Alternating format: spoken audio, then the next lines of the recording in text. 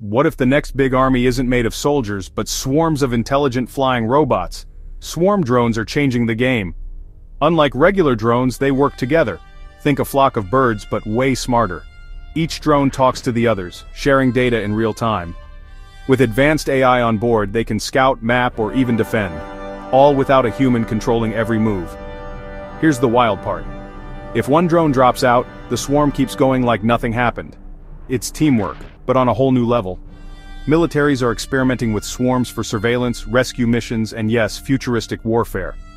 Imagine a hundred tiny drones searching disaster zones faster than any human team, or creating a digital shield in combat. But it's not all action movie stuff. Swarm tech could boost everything from delivery services to fighting wildfires. The AI army of the future? It's already buzzing above us, so next time you see a single drone in the sky, remember, its swarm siblings might not be far behind. Welcome to the future of flight.